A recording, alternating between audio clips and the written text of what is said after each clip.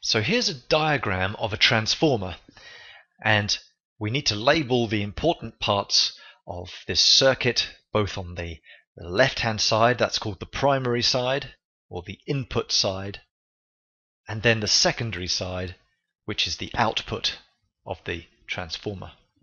And remember that transformers can be either step up transformers so that they will step up the voltage, the output voltage will be higher than the input, or they could be step down transformers.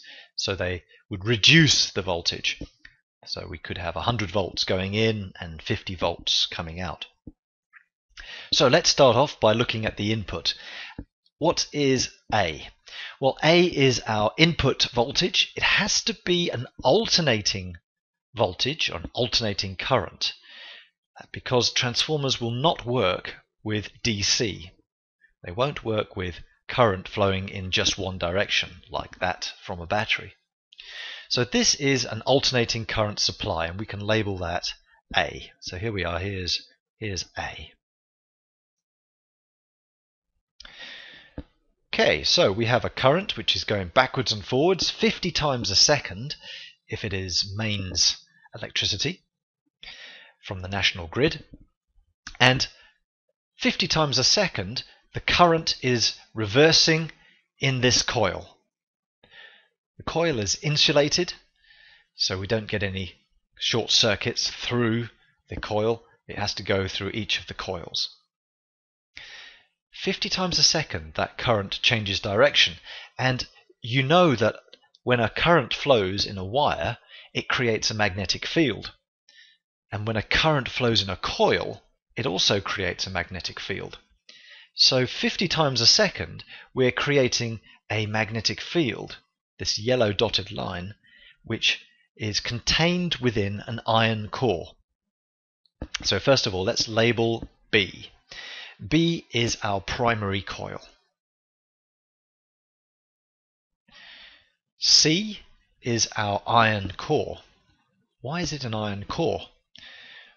What we want to do is is concentrate that magnetic field that the primary coil creates. And iron is a very good magnetic material. And so that magnetic field gets concentrated in that iron core and channeled around to the secondary coil, which is where we want it. So D is our changing magnetic field. Remember that it's continually growing and collapsing growing and collapsing inside this iron core. Now, the secondary coil is here, that's E. And the changing magnetic field is cutting through the secondary coil as it grows and collapses. And what happens when a magnetic field cuts through a conductor, such as a wire? Well, you induce a potential difference. So we have electromagnetic induction happening at the secondary coil. And so that induces a voltage in the secondary coil. And here's that's F, induced potential difference. And that will be an alternating voltage as well, an alternating current going backwards and forwards. And that's why transformers can only work with alternating current, AC, because we need that magnetic field to be continually growing and collapsing to cut through the secondary coil to induce a potential difference, which is then AC or alternating as well. I hope that makes sense. Uh, see if you can test yourself on this flashcard to name the important parts of how a transformer works.